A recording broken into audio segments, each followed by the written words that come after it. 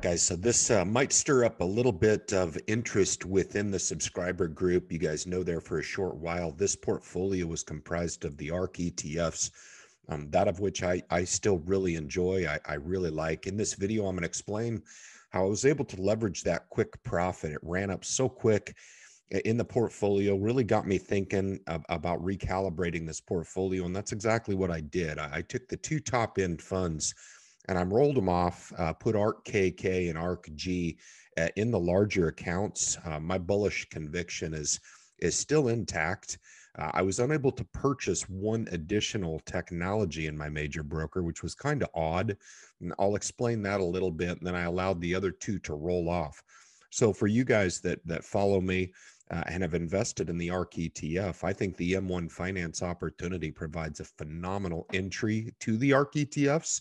Um, I just wanted to take a different direction with this. Uh, and the dividend growth portfolio is something that I've always wanted to do. It's something that I feel like can be built out. Um, with a $15,000 bill now that we're at in this, I really wanted to kind of diversify and grab some exposure in some of those companies that I don't want to own in the larger accounts. So I'm going to roll out this portfolio review. You're going to see uh, the um, the newly established uh, super dividend growth portfolio, and uh, hope you guys appreciate the the work on my end to be as transparent as I can uh, in explaining the moves that I do. So with that, guys, we'll jump in and we'll conduct the review.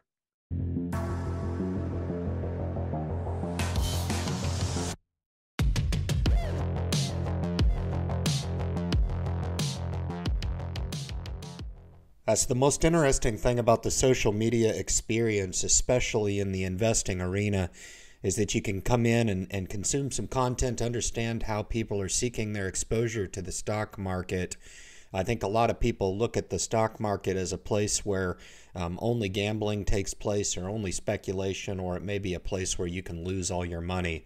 Um, good on us social media content creators that have enough confidence in our programs.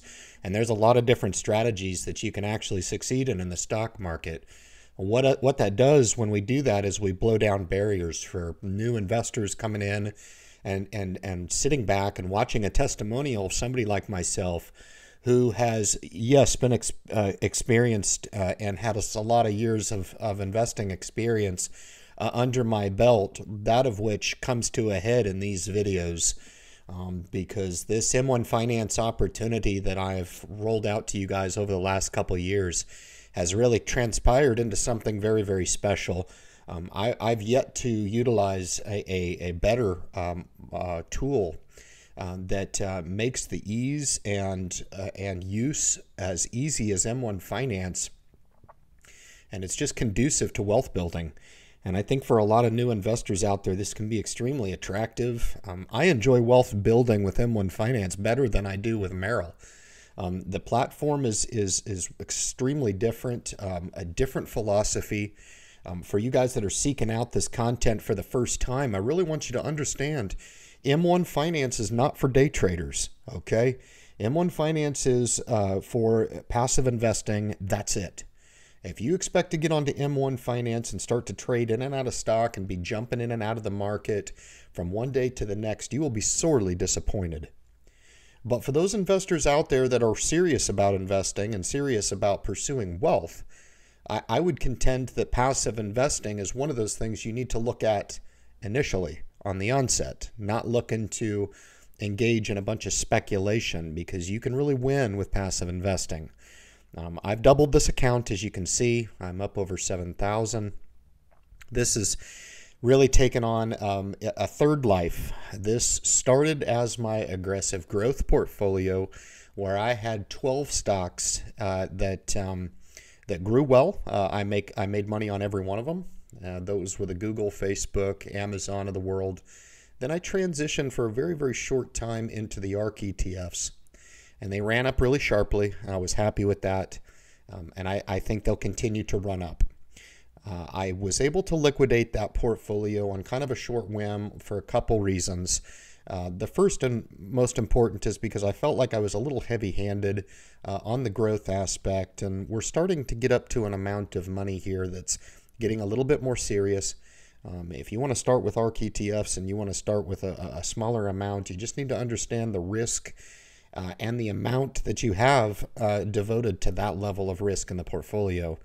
So I leveraged that into what you see here now. And this is going to be my dividend growth portfolio. This is a small page um, out of one of the YouTube content creators that I really enjoy a lot, Joe Carlson. He's since kind of scaled his opportunity with M1 Finance a little bit different than um, just dividend growth strategy specifically. He's got kind of a speculative portfolio. Um, and, I do something similar on the passive side. Uh, this is a single stock portfolio that's comprised of 67 stocks. And these are companies that I don't want to own in the larger accounts. Um, these really just kind of round out the portfolio exposure um, within each of the sectors, uh, minus real estate. So, real estate I have housed in the Roth IRA. Those are non qualified dividends, so I felt it better to just focus on the 10 other uh, major sectors of the S&P and that's exactly what I did. So if we click in here, I built this portfolio a little bit more the way M1 Finance um, means you to build out these slices. So this is my technology slice, for example. And this allows me to come in here. You'll notice that there's a few hundred bucks in each of these names, okay?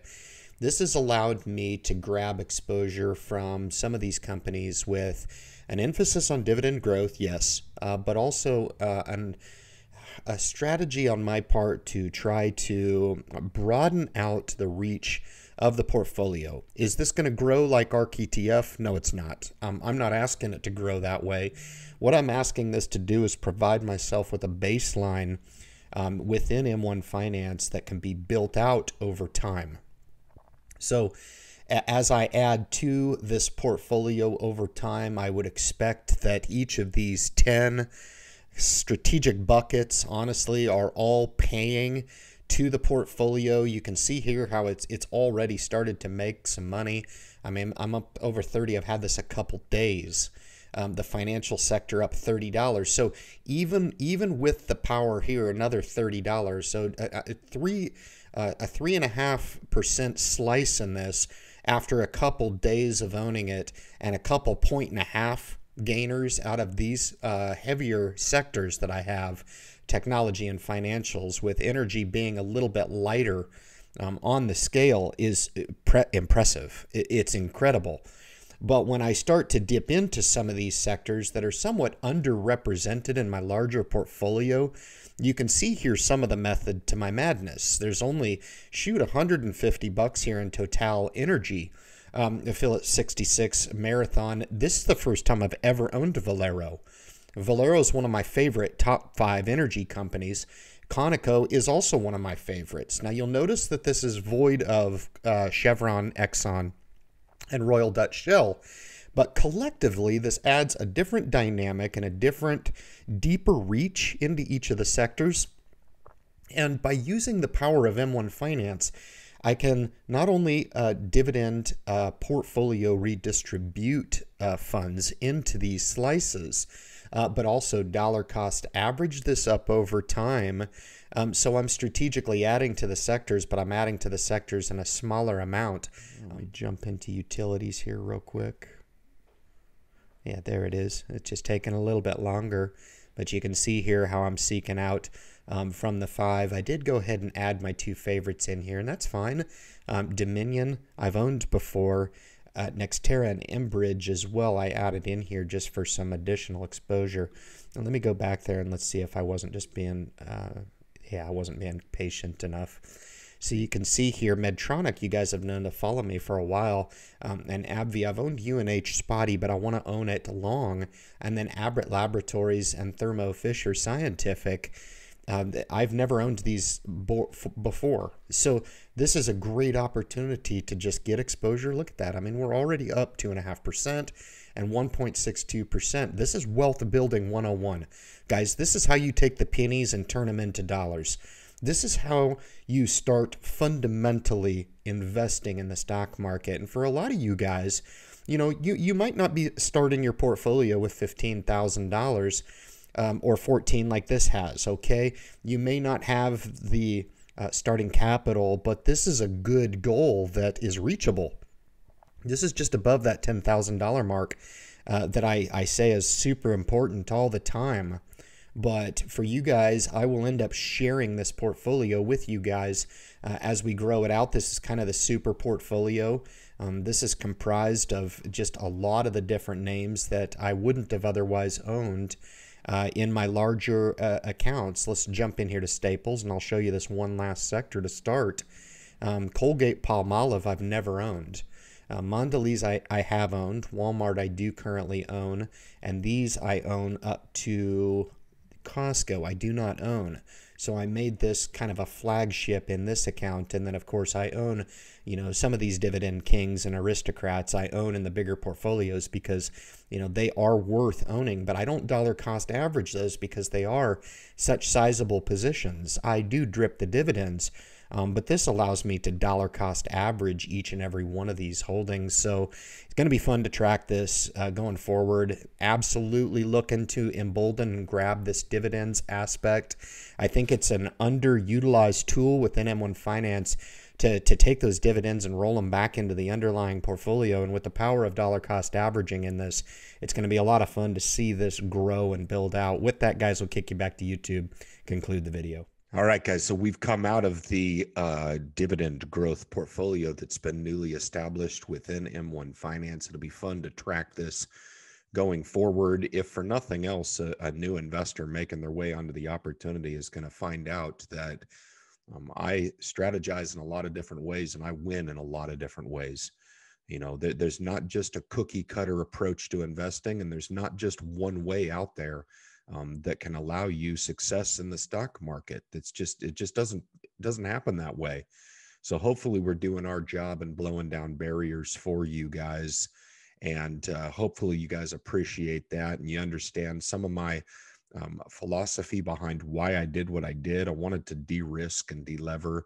Um, I thought with the ARK ETFs running up so well and the uh, amount of money kind of getting real in this portfolio, I, I, thought it was wise to kind of build this portfolio uh, in a manner that can accept the next uh, couple uh, income levels that I'm working for the 25, 50, and eventually 100,000. Um, because I do now see this portfolio standing the test of time, whereas I thought the ARK uh, ETF portfolio was at best um, a short to medium term investment. Guys, if you appreciate the information, want to make sure and subscribe to the message, share the channel with friends, family, anybody out there that you uh, know that can benefit sitting across from somebody like myself who's got uh, as much experience as I do in the stock market. I do this message for you guys. Um, there's no secrets about that, no doubt about it. Leave your comments at the bottom of the video, guys. Appreciate you joining me uh, in this uh, new rollout of the uh, super dividend portfolio, guys. Uh, thank you so much again, and good luck in your investment future.